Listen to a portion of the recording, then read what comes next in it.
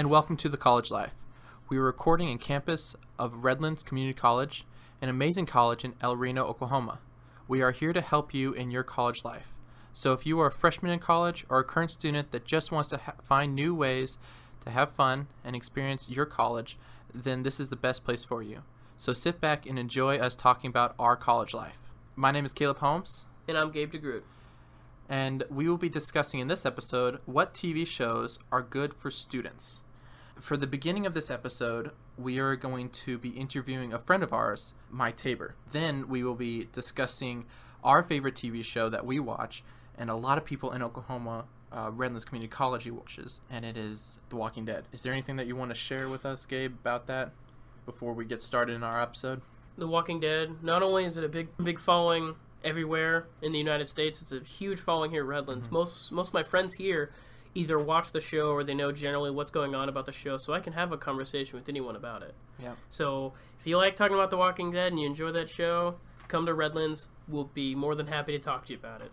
And for the people that are wanting to listen to this, there are spoilers. Catch up. We are watching sixth season, episode three, and the we're releasing this a little bit after that episode. Still, I think that this is such a great episode in general in this entire season. That's why we're talking about this episode. And then after that, we were discussing, I think, at least five or six episode or um, TV shows that we watch um, in our free time that I think that other students should watch. These episodes are going to be on Netflix or other websites that you can actually watch these for free. Um, so, yeah, uh, sit back and enjoy. Okay, so our special guest today is Mike Tabor. He's a friend of ours and he's currently one of my professors. Professor Tabor, how are you doing today? I'm doing great. How about you guys? A little nervous. I'm doing pretty good. So, Professor Tabor, I know that you've been here for a while, so I'd like to ask you some things that might seem helpful to us as students and also to the viewers listening. You ready? Sure.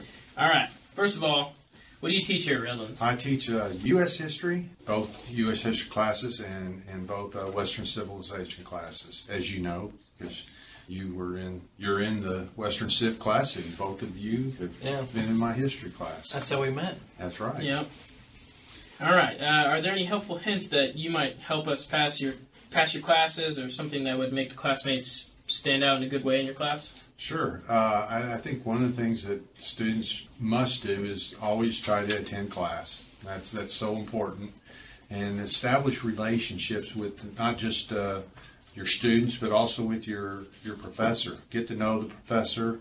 Uh, you know, they're they're humans just like everybody else, and I mean that's how we got to, to know each other is just getting to talk and, and finding out that we had things that we enjoyed uh, watching and doing together, you know. And uh, so getting to know your professors, your classmates, coming to class, take notes.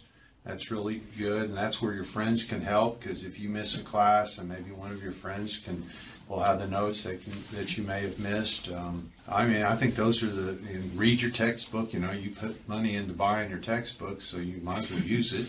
Uh, I know that uh, when I was taking your class, Uh-huh. I used a lot of my notes. And I could tell it with you, and you used a lot of your notes, Yeah. especially right now Oh, in your yeah. class. Yeah, the notes are the big biggest thing. It, it really is real important because, you know, I, like I think I've said to you guys, uh, you know, probably 70, 75% of everything I talk about is in, in the book, but I also bring in outside resources, and so do other professors. So uh, it's important to take notes.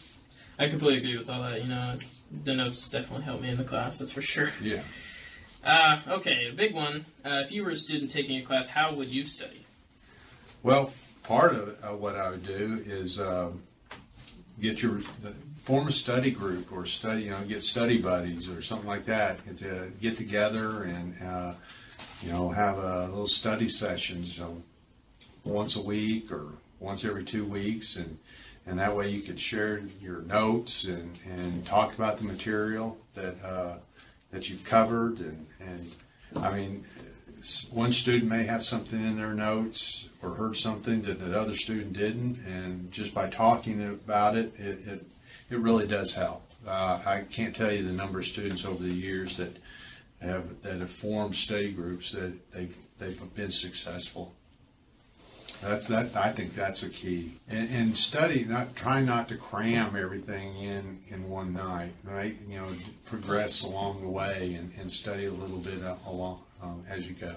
I remember the very first day of class with your class. You're like, "This is the hardest class you're ever going to take at Redlands," and I was like, "Oh God, this is gonna suck." And then, and so that's why I was like, I was taking my classes, and I took took the textbooks, and that was a big Yeah. help. The notes and the textbooks were the Yeah. biggest thing. And the fact out. that the two of you guys probably worked together and, and stuff, Oh yeah, um, that that probably helped too. yeah. Because I, I remember, you know, for a while there, he would hear something, and you know, I'd be like, oh man, that you know, and then the thing he would hear that I didn't just have to be on the test. So you know, if I hadn't asked him about it, yeah, probably. especially Christian, the guy that's editing this podcast.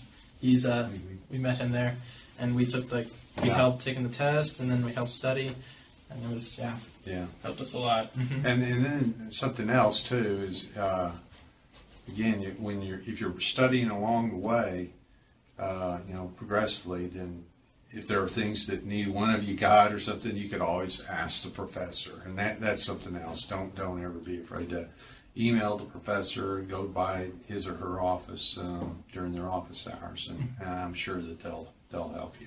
Oh yeah, definitely. Yeah, I remember like email, and I was like, Mhm. I asked you, I was like, should we email him? Because I was like, this is a really simple question, like, is the test like today or tomorrow? And Eventually, you guys did. yeah, eventually. Yeah. All right. Uh, you know, a little more personal question, but uh, when you were going to college, what did what did you go there for? Well, actually, I, I started uh, my college here at Redlands.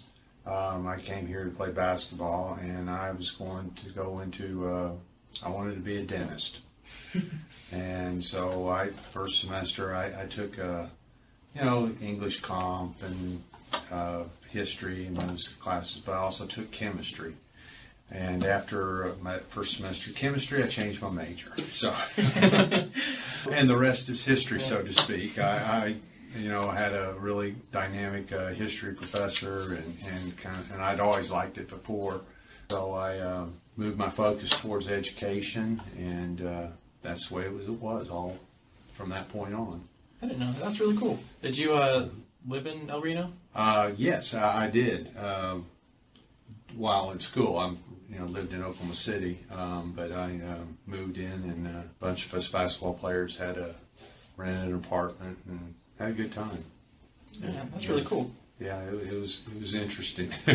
So, did you you went to college here, hmm and did you go to a university after this? And after that, I went to uh, UCO and Okay. got my bachelor's degree in education, and uh, then I taught it uh, in Putnam City schools for a number of years, and then I started adjuncting here, and then got a full time job.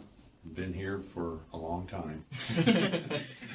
Well, that was gonna be my next question. I was gonna ask how you ended up here, but Yeah, I've been here for 24 years, something like that. Yeah, I was a young guy then.